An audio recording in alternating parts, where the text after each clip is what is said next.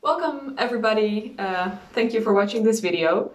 My name is Nina, I am a student of the specialization Health and Society which falls under the Master Communication, Health and Life Sciences um, and there's also the other specialization Communication Innovation.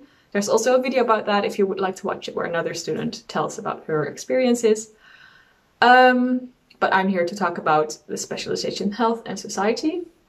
One more little thing, you might wonder why, where I am. Well, I'm in my room videoing this um, because I also have to adhere to the rules and the regulations that are there due to the coronavirus. Um, so yeah, just so you know.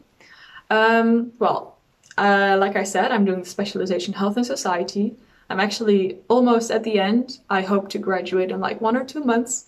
So, well, I can really look back uh, at what I've been doing and experienced during this master. I would like to talk about some general things of why I chose uh, Wageningen and this master, and then I will highlight three things that I really enjoyed during this master. Um, so first of all, generally Wageningen, it's a really cute small city. Um, it has quite an international sphere, um, so you get to meet lots of other people from other places. Um, and the program, um, the courses in the program, they're not with hundreds of people, which translates into teachers uh, knowing your name, wanting to help you. You know, they they want to get involved with you and help you throughout the program. So I think that's very valuable. And then lastly, one of the main reasons why I chose this program is due to the freedom that you get. So the Health and Society has quite a broad focus. You know, health can be defined more um, relating to social health or physical health or things to do with uh, food.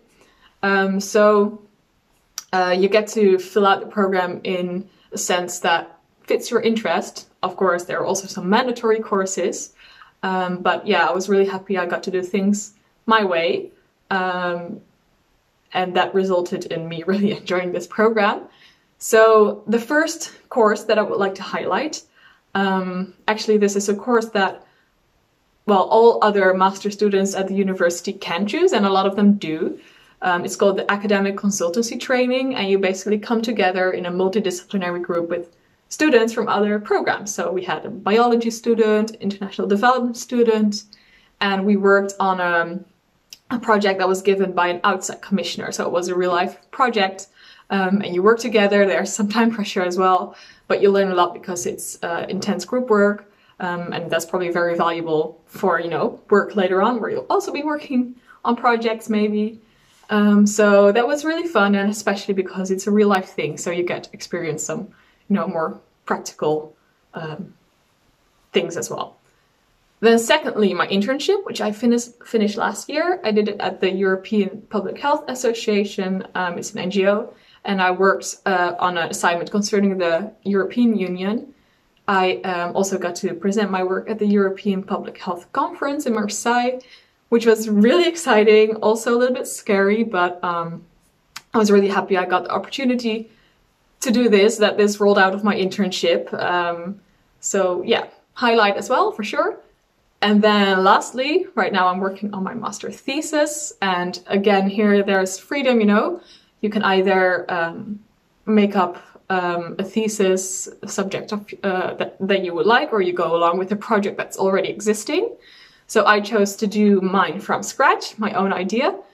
I'm writing it about the well-being of women in disaster with the gender equality aspect in there as well.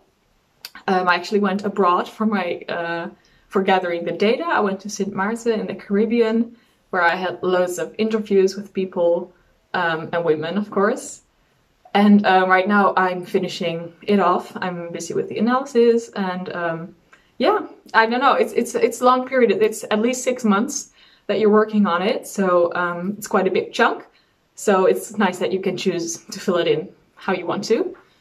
So um, I would also like to mention that there is a PowerPoint online in which the program is specified in way more depth with way more details about admission requirements, also some courses that are highlighted, the courses that exist that you have to do or can choose. Um, and there's a chat as well, which uh, me and the study advisors are online at, and you can ask your questions, maybe make an appointment for a call, um, and yeah, so I hope we can help you further there. And I wish you the best of luck with your choice. And hopefully, we'll see you in Wageningen. Bye!